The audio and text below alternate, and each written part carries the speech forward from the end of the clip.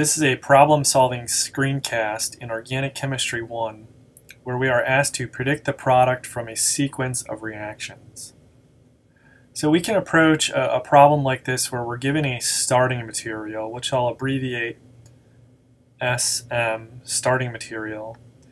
We're treating that with a sequence of reagents and asked to predict what the product is going to be.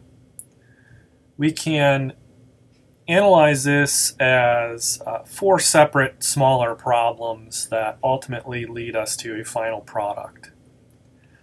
So in order to approach a, a problem like this, let's take it stepwise. So let's go ahead and redraw our starting material.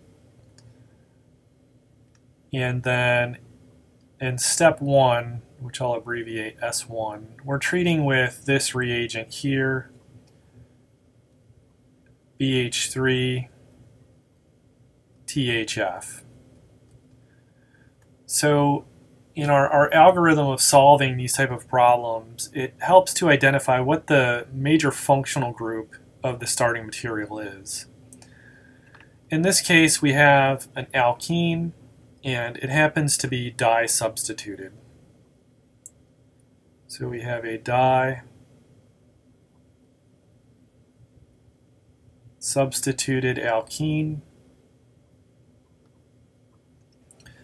And we're treating that with BH3-THF. So this is borane tetrahydrofuran complex.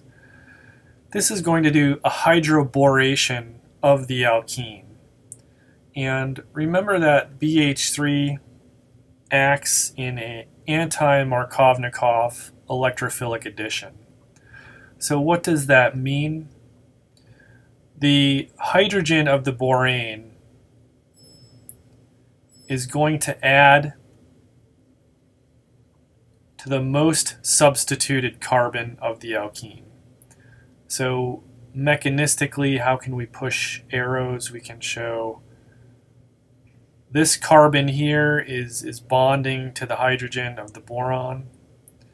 And then this bond will break, and then boron's going to be bonded to the less substituted carbon of the alkene.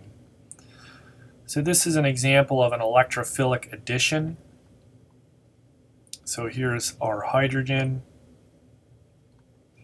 There's the carbon, and then here's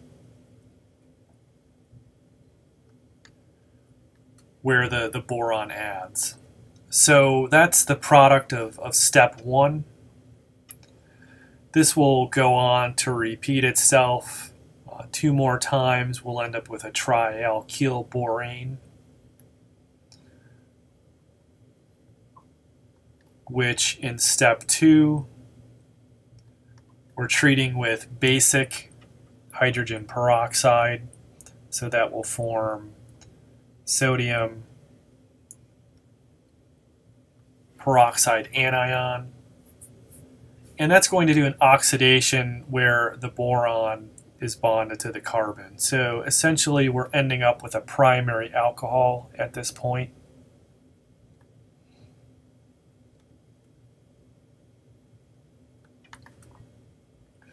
So now we have a primary alcohol.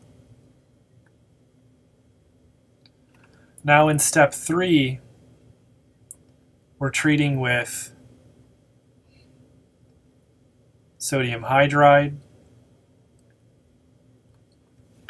It's important to verbalize what, what the reagent is. So sodium hydride. This is going to be a salt in which sodium bears a positive charge and then hydrogen bears a negative charge. So hydride means hydrogen with a pair of electrons and a negative charge. So this is going to act as a base and bases will abstract hydrogens and if you look at this compound you have a, couple different types of hydrogen. So which one gets abstracted? Well, it's going to be the one with the most acidic pKa and it's going to be the one bonded to oxygen. So this alcohol has a pK of around 15. So that hydrogen gets abstracted. The byproduct is hydrogen gas, which escapes the reaction. And we have an alkoxide anion. This bears a formal negative charge. The counter ion is then the sodium.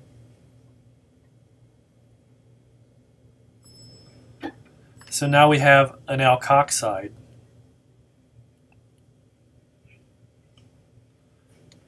The oxygen's negatively charged, so it is a nucleophile.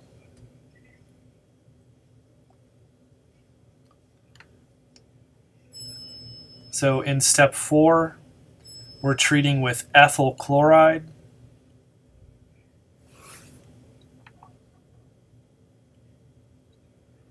So nucleophiles react with electrophiles.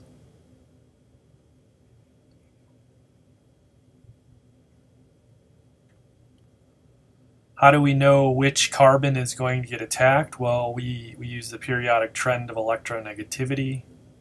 Chlorine is delta minus. The carbon is delta plus. We have a oxygen bearing a negative charge. Negative is attracted to positive, so we're forming a carbon-oxygen bond there.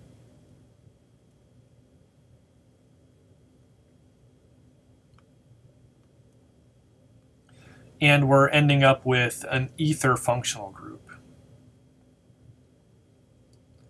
So this is our final product.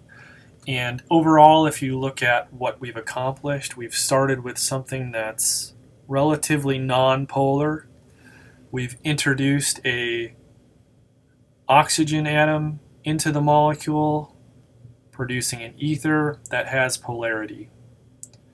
So this has been a problem of predict the product from a sequence of reactions.